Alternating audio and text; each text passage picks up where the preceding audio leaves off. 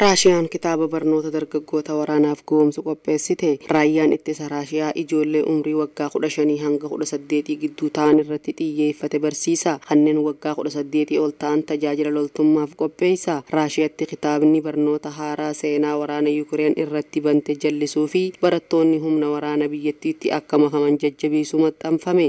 Kitaabni kun gosa barnoota haaraa bu'uura nageenyaa fi ittisa biyyaa yookaan fandaamentaal of security and defense of the motherland jedhamu barsiisuuf qophaa'e barnoonni kun ijoollee umriin isaanii waggaa kudha shanii hanga kudha saddeetii tahee fi raashiyaa akkasumas bakka raashiyaan yukureen keessaa qabatte keessa jiran hundaaf dirqama gosa barnoota haaraa kana miseensota waraana duraaniitu barsiisu lammiileen raashiyaa adda waraanaatti deebi'anii fi digirii qaban barnoota peedagoojii fudhachuun gosa barnoota haaraa kana barsiisuuf qophaa'aati jiru kitaabni jalqabaa zerruusiyaan armii in difeensi of the fatherland jedhamu kun jaarmaya biyyattii kitaabilee barnootaa maxxansuun beekamu enlaayitimanti jedhamuun qophaa'e. Suuraan kitaaba kana keessa jiru tokko barreeffama yeroo gaarii nageenya kan dhufu gargaarsa taankiin jedhu qaba. Barreessitoota kitaaba kanaa keessaa lameen ministeera ittisaa fi gaazexeessaa beekamaa raashiyaa ruusiskaayaa gaazexaa jedhamu keessa hojjetu.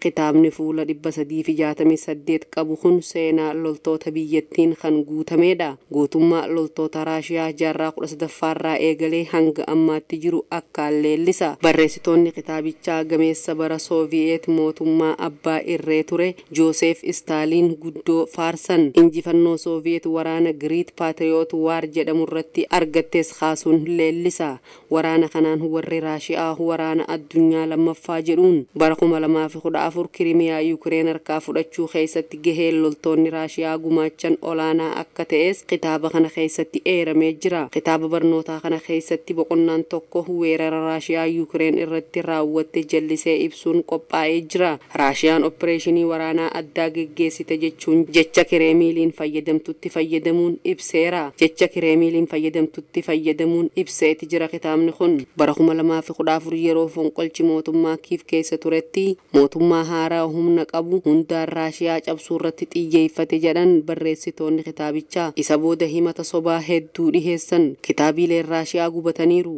Siidaawwan barbadaa'anii jiran. Weelluuwwanii fi afaan raashiyaa akka jirutti dhoorkame mana nyaataa keessatti dhiiga raashiyaa qopheessanii dhiheessan ja'a kitaabni kun akka yaada barreessitoota kitaaba kanaatti kan waraana eegale yukireenii fi naatoodha ja'a kitaaba kana keessatti akka eerametti waraanichi eegalamuu dura yukireen loltootaa fi meeshaalee waraanaa gurguddoo daangaa irratti huufteeti turte. Garuu kan waraana kuma dhibba caalan daangaa yukireenii fi beelaaruus dursee qubachiise ammoo raashiyaadha. Beelaaruus waliin shaakallii waraanaa erga taasisaniin booda gurraan dhala 24 bara 2022 yukireen weeraramte. Xiinxalaan siyaasaa yukireen voolidimir feesenkoon kitaabichi waliigalatti kan nama dogoggorsuu fi sobaan kan guutame ja'a.